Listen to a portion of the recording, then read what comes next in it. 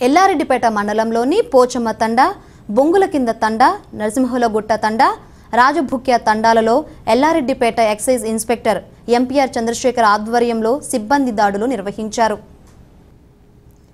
ఈ దాడులలో నూట యాభై లీటర్ల బెల్లం పానకం ధ్వంసం చేయగా ఐదు లీటర్ల నాటు సారాను స్వాధీనం చేసుకున్నారు. ఇట్టి నాటుసారా తయారీకి బాధ్యులైనటువంటి నలుగురు వ్యక్తులపై కేసు నమోదు చేసి విచారణ చేపట్టనున్నట్లు తెలిపారు. ఈ దాడుల్లో జిల్లా task force SI N Kishan Sircilla station SI Vijender head constables Venkateswararao Haqani Abdullah Majeed మరియు కానిస్టేబుల్స్ హమీద్ శంకర్ కృష్ణనాయక్ శ్రీనివాస్ రాకేష్ పరశురాం స్వప్న పాల్గొన్నారు.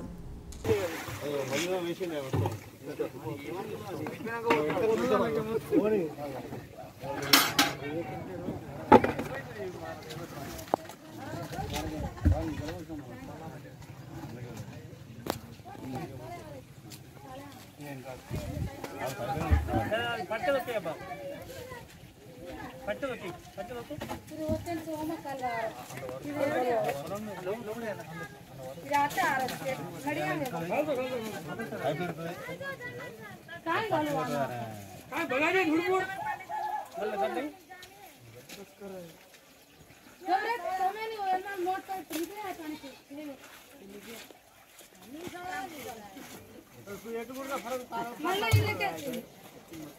అది కూడా మేమే జిమ్మదారా ఇంకా అక్కడెక్కడ పోతే ఇక్కడికి వస్తే అది మా జిమ్మదారా ఏంది కాదు ఈ